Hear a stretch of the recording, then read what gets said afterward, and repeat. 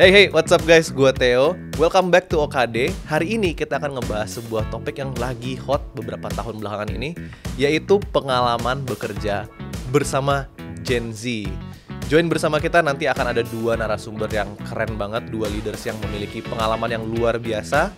Daripada kalian nungguin dan penasaran, langsung aja kita masuk ke pembahasannya. Let's go! Gen Z sering banget menerima stigma yang negatif dari masyarakat luas, khususnya di dunia kerja. Ada yang bilang gak sabaran, gak bisa kerja, dan hal-hal lain lah. Nah, di OKD kali ini teman-teman kita akan ngebahas tentang bagaimana sih pengalaman dari dua leaders yang keren banget nih dari agak beda generation gitu. Kita mau melihat sudut pandang mereka, bagaimana pengalaman mereka bekerja sama dengan Generation Z. Tapi sebelum mulai ke topiknya, boleh kenalan dulu nggak sih dengan Koko dan Cici yang hebat ini gitu. Ladies first mungkin. Oke. Cici ya, kakak. Cici, lah. ya memang semua orang panggil aku Ci, ya kan. Oke, hai uh, everyone, generasi pintar digital. Nama aku Mendy. Kayaknya juga udah sering muncul di YouTube-nya Purwadika. aku adalah CMO dari Purwadika Digital Technology School. Dan aku generasi milenial. Bukan Gen Z ya, Ci? Hah? Bukan. Oh bukan, Oke, kirain Gen Z juga loh. Aku sih yang Gen Z. Oh iya, kelihatan kelihatan sih. Halo semuanya, aku Brian Purhartono uh, selaku CPO atau Academic Director dari Purwadika. Generasi apa lo? Maunya sih Gen Z ya, biar mawet muda ya. Cuman enggak sih. Oke, jadi sekarang kita kedatangan dengan yang aku akan panggil sebagai Cimendi dan Cobra ya. Oke, sebagai narasumber yang hebat banget nih di OKD kali ini. Spesial banget episodenya nih. Karena sekarang kita punya dua sudut pandang yang ekstra spesial Ya. sebagai seorang leaders di Purwadika juga dan memiliki banyak pengalaman bekerja sama dengan Gen Z itu sendiri. Boleh nggak sih uh, dari sudut pandang Cimendi atau Cobra mungkin sedikit ceritain beberapa asumsi dan realita yang dihadapi ketika kerja nih bareng Gen Z khususnya di boleh di Purwadika atau mungkin di tempat-tempat kerja yang lain lainnya. ya. Ah, ah. Mungkin aku share duluan kali ya. Teh. Boleh boleh Cici. Ah. Jadi kan emang benar kata Theo gitu ya. Banyak media ngangkat eh, Gen Z itu generasi strawberry katanya, ya kan. Maksudnya nggak bisa kerja dan lain-lain. Nah kalau personally aku, pengalaman aku, aku banyak tim itu Gen Z, Oke. betul, anak-anak muda gitu ya. Karena satu aku memang suka kerja bareng anak muda biar tetap awet muda teh. kelihatan sih, kelihatan banget awet muda. Kalau misalnya Theo tanya sama aku personally eh, aku rasa kalau misalnya kerja keras itu mereka bekerja keras kok gitu. Cuma mungkin kebanyakan adalah karena mereka hidup di dunia maksudnya mereka bertumbuh lebih generasi yang sudah banyak informasi yang Betul. masuk apalagi di era sekarang. Jadi menurut aku proses analisanya yang kurang. Oke. gitu loh. Jadi maunya cepat, bisa cepat, tapi sebenarnya mereka nggak terlalu deep research. Oke. Kayak reasoning ini tuh kenapa, kenapa ini nggak works, lebih ambil waktu untuk bisa lebih sabar, reasoning dan lain-lain. Temen aku bilang kemarin, dia di recruiter juga. Gen Z tuh kayak seolah-olah baca cover akhirnya buku, tapi kayak tahu the whole books tuh apa Oke. gitu loh. Isinya padahal nggak belum dibaca tuh. Isinya belum dibaca. Iya, oke. Balik lagi benang merahnya karena menurut aku proses. Mereka tidak terbiasa dengan proses yang lama gitu loh. Hmm. Cuma kalau kerja keras, I think Gen Z banyak juga yang kerja keras. Oke. Gitu. Kalau masalah attitude, so far di tim-tim aku sopan semua, baik gitu kan. Cuma kalau masalah pribadi mereka gampang menyerah atau apa aku kan kurang tahu ya. Tapi kalau di pekerjaan sih, so far sih oke kok gitu. Cobra sendiri mungkin ada ada another point of view gitu. ya, kalau menurut aku sih balik lagi ya. uh, I think kalau kita mau bicara fair ya setiap generasi pasti sebenarnya ada aja yang problematik ya Betul. nggak Iya. sih di kita generasi kita milenial atau even even generasi sebelum kita nggak selalu berarti patokannya oh generasi yang udah senior berarti semuanya uh, pekerja keras dong semuanya uh, aware dong. Kan nggak juga. Menurut aku ya di setiap generasi pasti ada emas ada yang memang mungkin kurang gitu. Nah cuman yang menarik memang kan karena me- kuncinya kan tadi media menyoroti. Betul. Ya menurut aku tuh media itu kan semakin menyoroti suatu hal itu kan akhirnya menciptakan stigma. Dan stigma itu menciptakan apa ya? Kayak Gambar diri. sensitivitas ya, Iya. sensitivitas ya. Jadi kayak kesorot. Jadi hal-hal kecil yang tadinya kita nggak aware tuh gara-gara itu jadi kayak terlalu di notice banget gitu loh. Tapi sama kayak Cimendi ya handle juga banyak kerja bareng sama Gen Z terus juga banyak yang kerja keras kayak murid dan alumni Prodika juga banyak yang eh, kerja keras kok gitu ya kan bahkan selama belajar dan lain-lain cuman mungkin tadi eh, kuncinya masalah eh, stigma publik aja yang udah lumayan agak ke brainwash ya Iya, sama iya. sama media gitu. Kalau misalkan dari pengalamanku sendiri tadi sama setuju sama Cimendi, kata kuncinya sih sebenarnya di proses sih. Gen Z itu kan start dari 9798 ya. Harusnya ya kan. Jadi ketika mereka mungkin mulai bekerja di usia eh, 20, 21 tahun, 22 tahun kira-kira orang start bekerja tuh di posisi itu. Itu kan lagi di tahun kita di tech industry itu kan lagi hype-hype-nya. Iya. Ya kan startup tuh lagi muncul, massive recruitment lagi terjadi dan memang nggak usah ditanya gitu loh. Terjadi juga namanya peningkatan rate income Oh, beda itu banget gitu loh. banget, iya. Programmer dulu kan ibaratnya sebelum Tech Jaya sama pas lagi di era Tech Jaya starting salary-nya dan kapasitas mereka untuk bisa raise raise raise raise itu kan beda banget. Iya, betul. itu ibaratnya masa emas banget lah ya. Nah mereka mulai bekerja di situasi seperti itu Iya. gitu loh. Jadi kayak oh karir tuh bisa leaping tuh secepat itu ya, gaji tuh bisa incremental tuh se ekstrim itu, itu. ya gitu ya. Oh gue tinggal pindah sini pindah sana nanti raise raise raise segala macam. Jadi kebetulan juga usia bekerja lagi di situasi ekonomi seperti Jadi kena itu. culture Jadi yang kena seperti culture yang itu. seperti itu. Nah makanya kenapa akhirnya sekarang Gen Z itu lagi ke sorot banget karena kan ya kita nggak bisa hindarin ya ekonomi dunia dan uh, cycle-nya kan memang lagi berbeda nih ya kan ibaratnya lagi dengar istilah yang populer kan kayak old money gitu kembali lagi secara yang lama nah di situasi ini yang ibaratnya di challenge. Iya, ibaratnya lagi kayak fasting period lah. Memang fasting period di sini ibaratnya kita harus memang lagi nggak seseksi itu, nggak segera itu, tapi tetap hidup. Tapi memang ibaratnya akhirnya prosesnya harus lebih slowing down, Ya. harus lebih lambat. harus sabar Betul. gitu ya. Company semua banyak yang lebih uh, tight budget dulu. Jadi kayak oke, lo kerjanya bisa harus lebih keras, tapi juga maksudnya salary yang bisa dikasih nggak sewah waktu di masa emas kemarin misalkan contoh seperti itu kalau in terms of bicara masalah kinerja ya kan kita juga udah kerja Iya. bareng di beberapa project kan gitu ya Theo buktinya Gen Z tapi Kerja ya keras. sangat kerja keras kreatif bahkan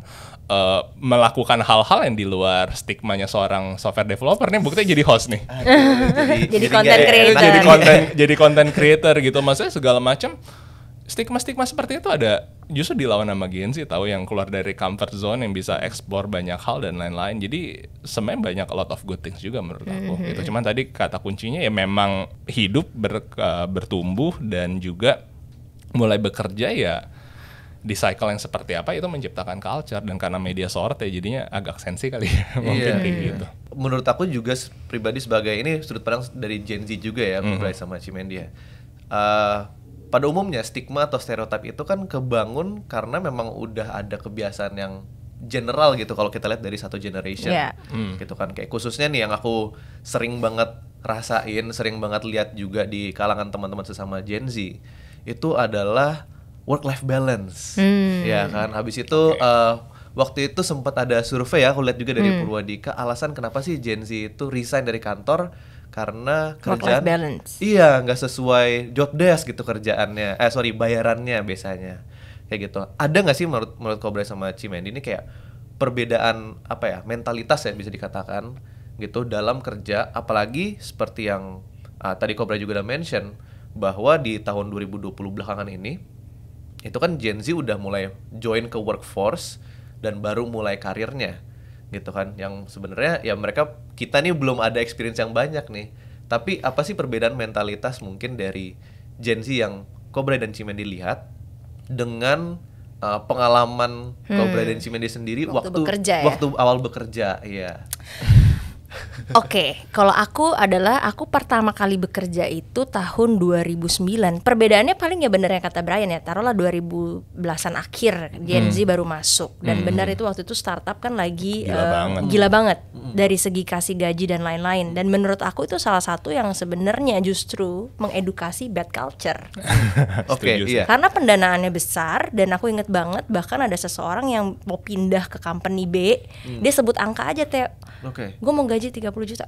wow Oke, lu dapat saking gampangnya loh Saking itu gampangnya. duitnya Pada saat itu ya. pada saat Iya. itu. Nah, sedangkan culture aku waktu aku kerja 2009-2008 itu belum ada satu media sosial.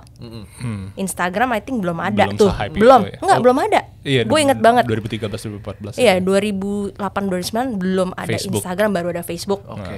Jadi ibaratkan comparison game-nya juga belum ada. Iya. Terus tentang media kerja juga masih sangat terbatas. Jadi yang kita lihat itu benar-benar adalah sosok justru generasi yang sebelumnya, yang sukses-sukses. Oke. Kita melihat dari cerita mereka dong. Iya, kita nggak ada comparison. Wah usia segue udah Udah terbang." bisa beli ya, ini, di media sosial tuh tidak terekspos segitu Iya. banyak karena nggak ada.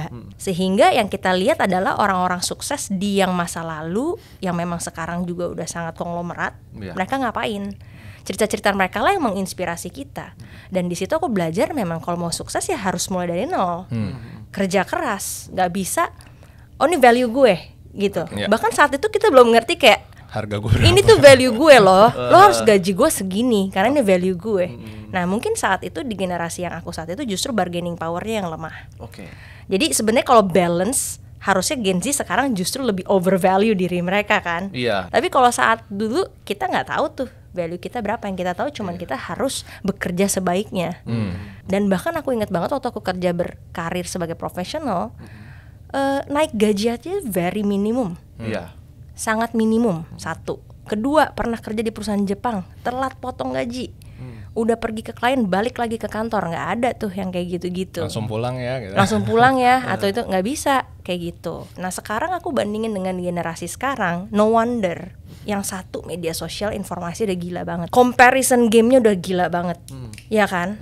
Si A ini kan kadang-kadang media ini mau bikin konten Iya. jadinya kan. Terus udah gitu saling berlomba-lomba sukses dan sekarang udah ada media lu bisa loh istilahnya Iya. udah beli A beli B. Jadi mau tadi yang mau cepet mau proses terus comparisonnya tinggi banget ya wajar lo jadi stres kan gitu. Iya.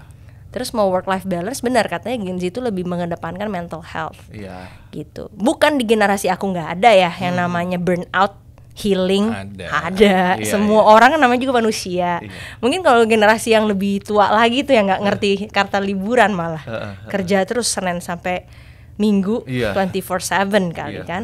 tapi kalau sekarang mungkin ya itu dia Lit- apa berita-berita tentang mental health juga udah banyak, terus ih, gimana sih Theo? Kalau lu di informasi 24/7 dengan segala sesuatu yang cepat Heeh, sebenarnya lu burnout bukan karena kerjaan itu tahu Iya. bisa jadi Banyak karena informasi itu yang lain yang kayak gua harus cepat sukses gua harus ini ya Iya. burnout lah sendiri Ini bukan berarti ini klarifikasi teman-teman bukan berarti memperhatikan mental health itu sesuatu yang buruk Oh bukan. bukan bukan bukan, ya, cuma maksudnya setiap orang punya kapasitas. Nah ini yang penting nih. Heeh. Mungkin kapasitas generasi sebelum aku, bayangin Theo, kalau dulu orang istilahnya mau apa tuh susah loh. Aku inget banget istilahnya papanya satu temen, dia itu mau berdagang furniture, itu sampai bawa furniture di mobil, door to door, bener-bener ketok pintu satu-satu, zaman dulu tuh. Mana ada yang kayak sekarang Digital istilahnya lu bisa digital ads. marketing, Instagram aja ads, gitu, heeh. nggak bisa.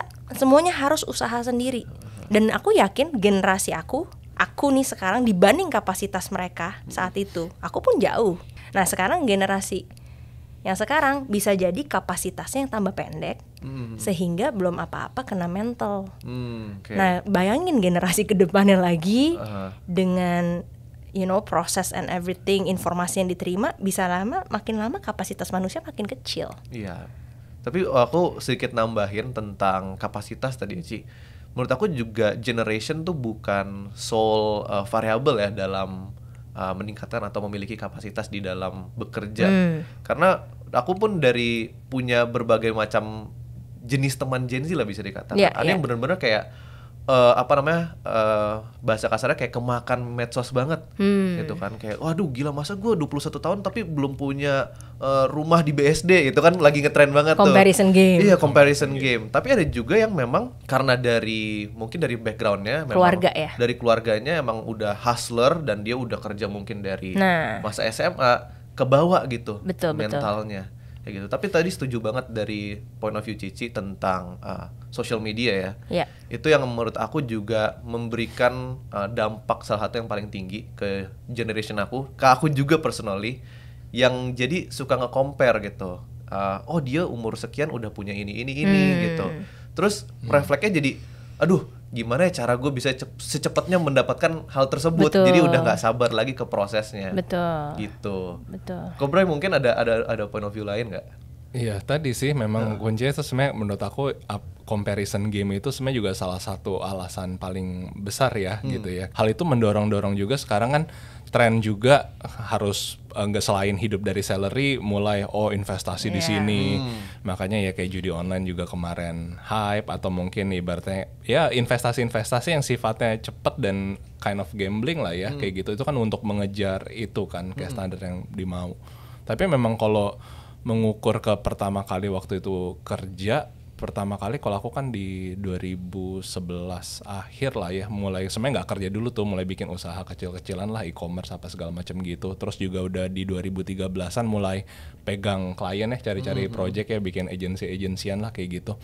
Memang pada saat itu tadi memang kita exactly bicara power of bargaining tuh mindsetnya kita belum tahu. Prinsipnya adalah ya yang penting tabur dulu gitu. Prinsip kerja tabur dulu. bikin nama eh, bahkan ya ibaratnya bisa handle project yang skalanya tuh ya out of reach ya sebenarnya di kapasitas kita saat itu dengan nilai project yang Undervalue. undervalue Undervalued, actually iya. gitu tapi kita punya mindset oke nggak apa-apa yang penting gue dapat pengalaman portofolio portofolio ini gue pakai buat snowballing ngedealing selanjutnya dan memang akhirnya di titik ke berberapa ke klien keberapa baru udah mulai mungkin bisa Menuai. menuai dealing project yang lebih bagus gitu tapi ya kalau misalnya kayak sekarang akhirnya ibaratnya didorong oh si A bisa hidup. Apalagi ibaratnya oh gue nggak kerja cuman kayak gini-gini investasi ini gue bisa kaya dan segala macam. Ini kayak gitu-gitu kan jalan-jalan uh, mudah lah ibaratnya ya kan. Jadi akhirnya everyone mungkin cari uh, shortcut gitu ya. Nah ketika kayak gitu ya mungkin itu yang menciptakan tadi ketidaksabaran terhadap prosesnya itu loh Oke. itu yang aku lihat mungkin agak agak beda gitu kalau misalnya di kita sih apalagi generasi di atas kebetulan di tim aku kan juga ada generasi di atas yang udah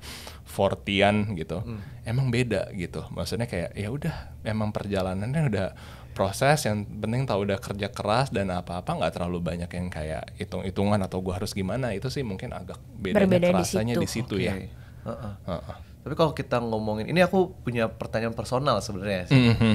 Kan kita kan udah di era yang eh, apa namanya informasi tuh udah mulai ya bisa didapetin di mana-mana gitu. Dan aku yakin juga Cimendi dan Ko Brian pasti menggunakan yang namanya social media Iya, pasti. gitu. pasti. Nah sempet atau sekarang ini kayak terpengaruh gitu nggak sih Cimendi sama Ko Brian ini kayak kita Gen Z udah pasti kan emang emang kita terpengaruh utamanya tuh karena sosmed gitu. Tapi ini eh, apa namanya stereotypes atau eh, kebiasaan-kebiasaan dari Gen Z ini mulai Kena nggak di kena kita? nggak sih ya Kena ke generation lain mungkin. Oke oke. Kalau untuk comparison, jujur ya, personally tidak aku ya. Oh, Oke. Aku tidak ada mengcompare eh, kayak gitu gitulah dari sosial media karena mungkin udah cukup tahu dan ngerti ya setiap orang punya timingnya masing-masing, setiap orang punya berkatnya masing-masing. Aku udah konten di sana. Ya kalau misalkan ibaratnya ngaruh comparison game gitu ngeliat oh si A umur sekian udah seperti apa gitu.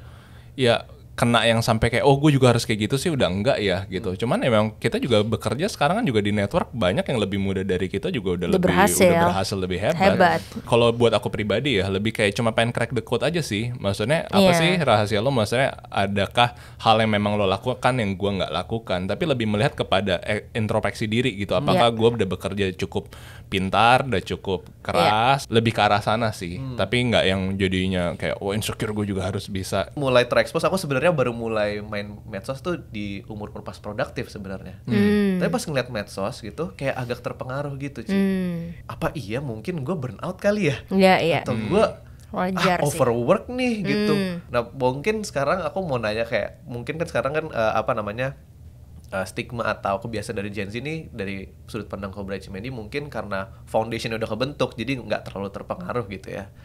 Boleh nggak sih mungkin kasih eh, sedikit apa sih yang sebenarnya Cobra sama Cimendi ini expect atau sedikit tips nih supaya teman-teman yang Gen Z yang baru mau masuk ke workforce itu kayak tahu sebenarnya proses berkarir itu atau proses berproses itu seperti apa. Hmm. Menurut aku secara pribadi kalau yang bisa diharapin adalah karena tadi stigmanya gitu kan di Gen Z tadi langsung mengcompare value gue nggak segitu, gue underpaid dan lain-lain.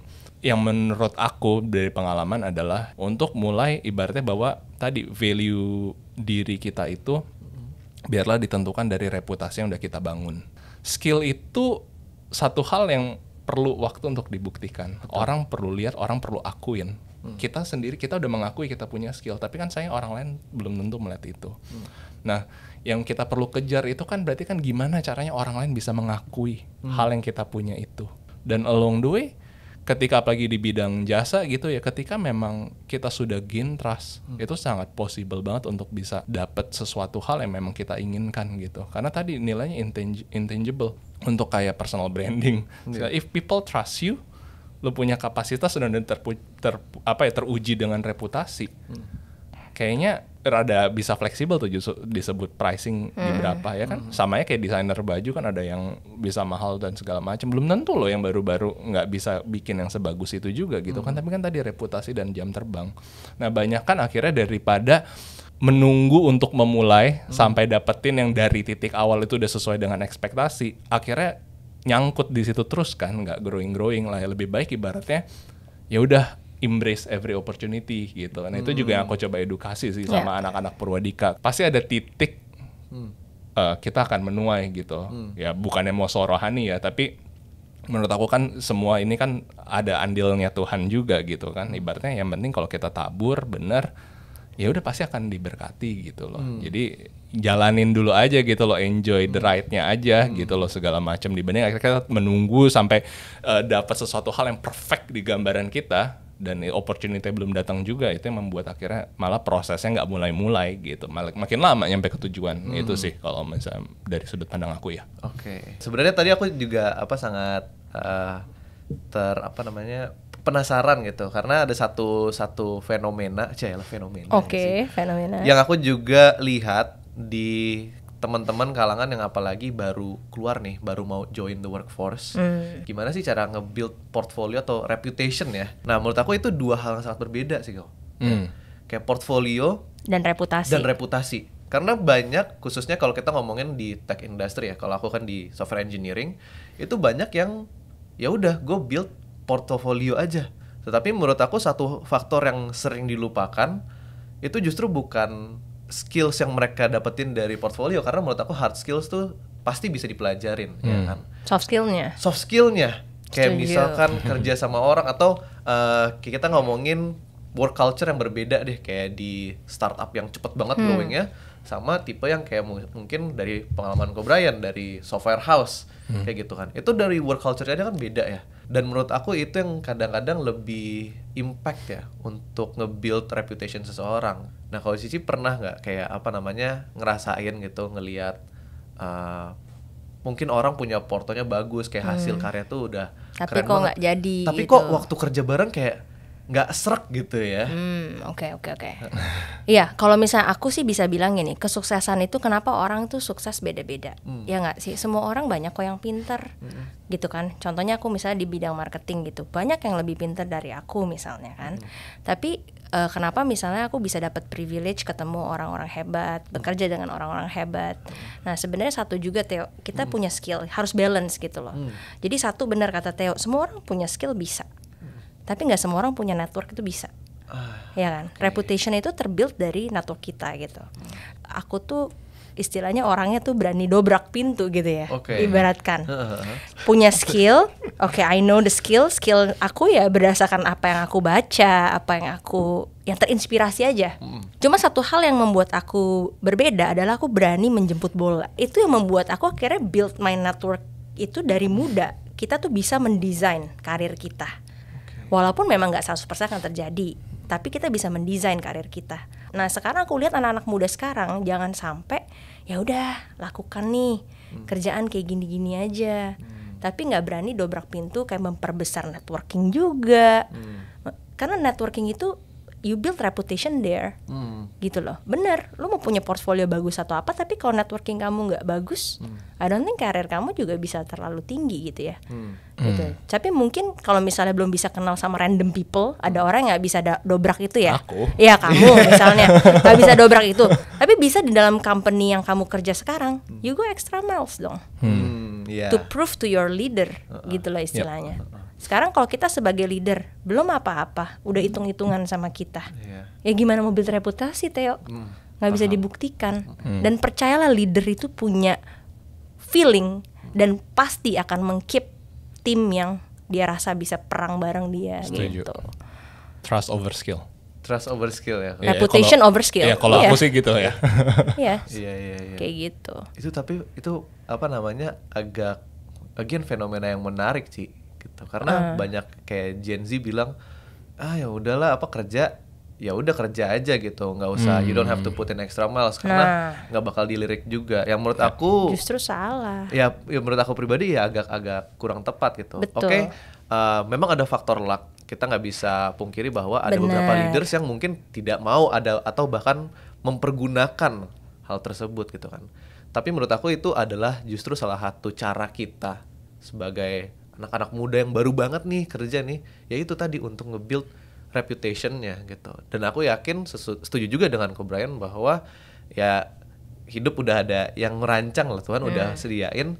Nggak mungkin kayak hard work kita yang walaupun nggak dilirik nih sama apa namanya leaders yang sekarang mungkin kayak gitu. Tapi somehow kalau aku pribadi ya pasti selalu ada ada apa namanya ada celah lain sih Ci kayak gitu. Untuk uh, orang lain juga nanti bisa melihat gitu. Kayak uh, karakter kamu ketika bekerja atau bahkan bergaul networking itu seperti apa, apa, sebenarnya. Betul. kayak gitu.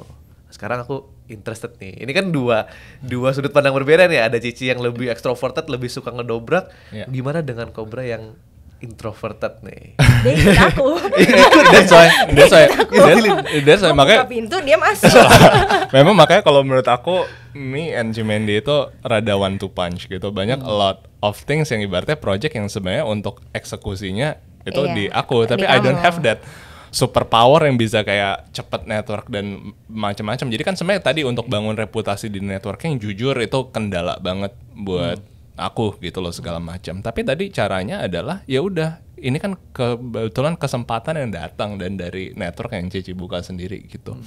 Ya gimana caranya perform di titik ini gitu. Dan ibaratnya ketika udah dibuka networknya kita udah dapet kesempatannya ya kita bisa snowballing dari sana gitu loh. Karena ketika kita bisa di pengalamanku ya ketika kita bisa deliver tadi extra miles bahkan melakukan hal-hal yang mungkin awalnya tuh nggak ada di job desk dan di apa-apa tapi kita mau extra mile kita ngelakuin yang terbaik apa pun itu mendadak ya dari network yang tadi gunain jasa kita nyari kita lagi gitu loh segala macam. Dan akhirnya network kita walaupun bukan dobrak pintu mulu mulai ada yang kontak aja gitu loh untuk minta bantuan karena reputasi yang udah kita kita bangun. Dan tadi memang setuju reputasi itu bukan bicara selalu masalah karya akhir hasilnya itu seperti apa. Tentu itu penting karena kalau misalkan kita jadi orang juga soft skillnya bagus sopan dan lain-lain tapi kalau kerjanya resultnya juga ancur lebur kan juga susah juga. Itu itu juga itu penting tetap gimana pun juga. Yang membuat aku akhirnya dapat opportunity kebanyakan itu bukan kepada kayak oh resultnya yang sangat flawless gitu tapi di work prosesnya Hmm, work process. di work prosesnya kok enak ya komunikasi sama Ah, lu benar. gitu maksudnya kok ibaratnya di setiap project walaupun mungkin ini project gua gitu loh maksudnya Andi lu tuh nggak result yang lo bisa dapet ya sebatas itu aja gitu. Tapi kok ada kayak sense of belongingnya gitu maksudnya Ya. mau extra miles mau make sure everything makanya memang betul reputasi tuh dibangun di di di situ juga gitu aku pun dengan sa- uh, memilih tim juga tuh kadang-kadang memang seperti itu kayak milih developer kadang-kadang ada yang pinter banget tapi it's hard untuk Kontak dia. kontak dia untuk untuk kontrol kok kayaknya Penyakit orang teknikal. Kok kayaknya nggak ini ya itu agak lebih takut Benar, gitu benar, benar, benar. tapi ada yang bisa kayak memang tahu kita secara skill bahkan dia sendiri pun ngakuin gue kalah jago loh tapi kayak project kalau lo yang pegang gue percaya aja gitu loh. Karena kayak ya gimana ya? Itu Iya. ah, itu mesti mungkin pengalaman. Tapi menurut aku balik lagi ini menarik ya. Tadi pengalaman itu juga ditentukan sama memang kita bertumbuh di mana di ekosistemnya seperti apa.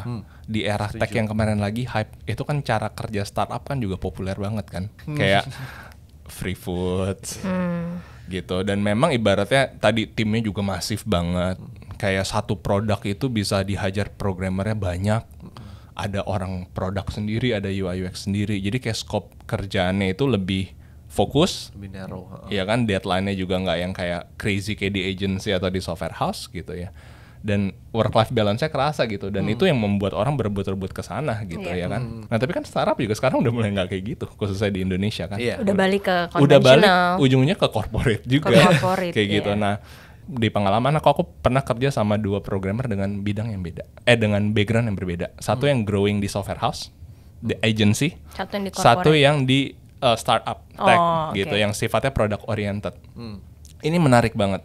Kalau kita mau dapetin yang skillnya itu secara code dia perfectionist dan codingnya bagus, scaling up, kita memang jujur dapetin di yang startup. startup. Karena memang mereka itu membuat produk yang harus growing kan. Jadi memang fondasi awalnya tuh harus Rapi. rapi. Kalau agency dan software house ini kan dikejar deadline. Mentalitinya. mentality dikejar deadline kan. Dengan tim lima orang gimana cara bisa handle project sebanyak banyaknya jadi level of perfectionnya itu kurang tapi deadline-nya kena.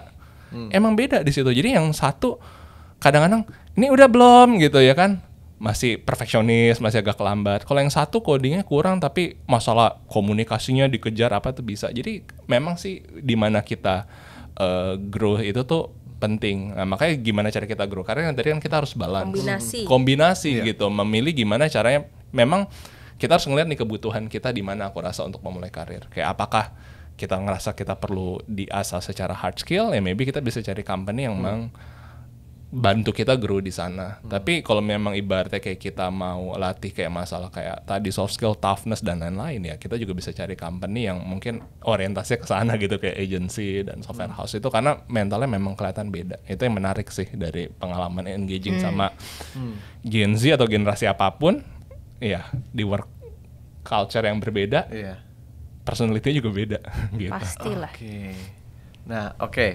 Ini kita udah kasihkan ngobrol Iya, sebenarnya. iya, iya, iya, iya, ini. iya. Nah, cuman aku mau ngasih satu lempar satu final question sih, Ci. Ini Oke, khusus untuk teman-teman Purwadika student mungkin atau calon-calon nih yang mau join nih Purwadika gitu. Yang majority mungkin ada di generation aku nih di Gen Z.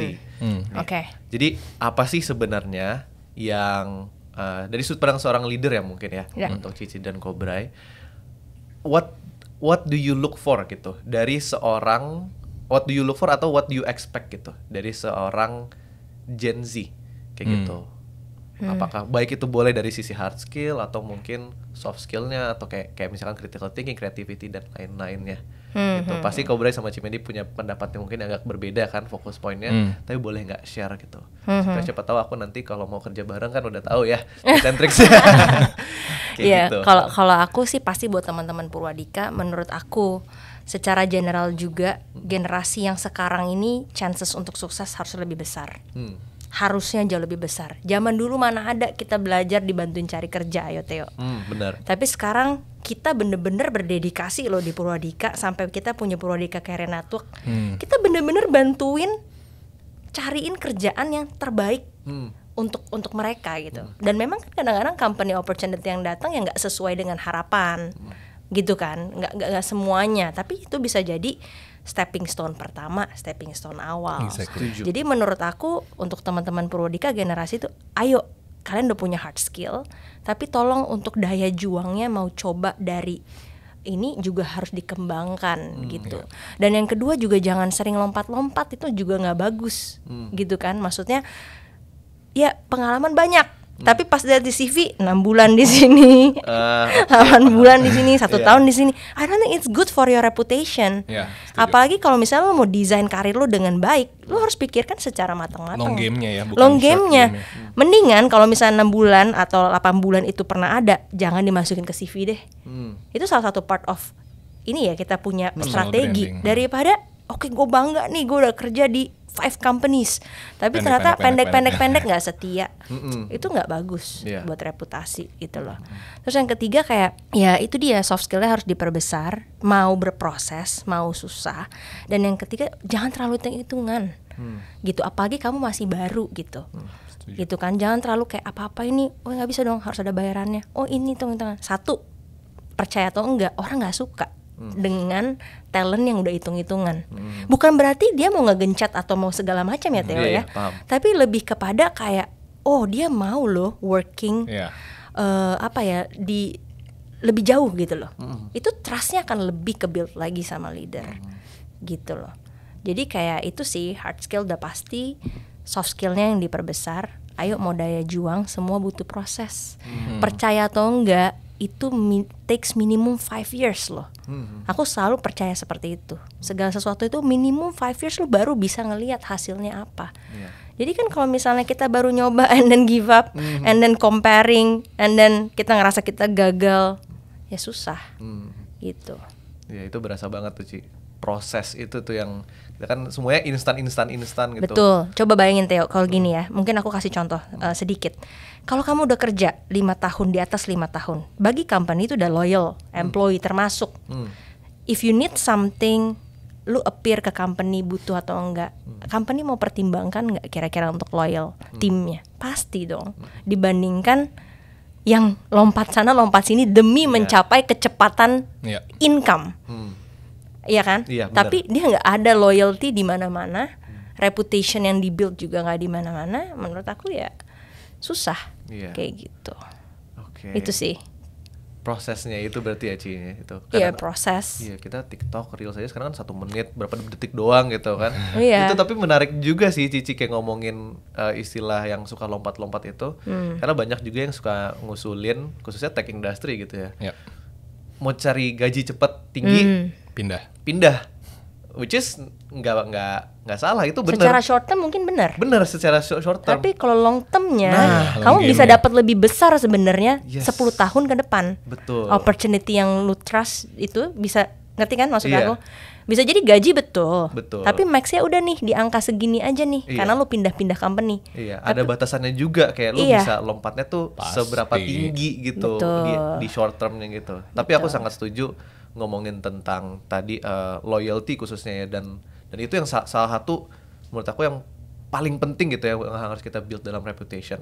Kayak gitu. Kerja bareng orang ngebangun ngebangun trust itu susah banget Ya. kayak gitu. Dan aku yakin juga kalau misalnya udah kerja bareng orang yang aku trust ya nggak mungkin lah aku mistreat orang tersebut gitu. Betul. Iya kan.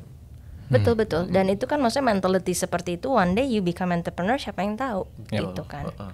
Mungkin sekarang kayak banyak yang nggak ngerti sih, karena ya kita belum nggak banyak yang mental entrepreneur Hmm. gitu. Bahkan kita ya udah oh kita kan sudut pandang eh, apa solo warrior aja Iya iya kayak iya. gitu. iya. Cuma ini menurut aku sangat apa aku pribadi juga udah mengalami dan ini satu hal yang sangat mengubah mentalitas aku. Yang tadinya setuju oh, ya udah lompat-lompat company aja kayak gitu. Tapi in the end ternyata menurut aku pribadi ya dalam kondisi aku juga I think it's better kalau misalkan kita build reputationnya itu, nge-build loyalty itu gitu. Karena eh sorry ya jadi panjang ya Ci, tapi apa-apa. Iya jadi eh, nge-build reputation itu jadi apa ya kalau dalam bahasa programmingnya eksponensial ya. Betul. Iya.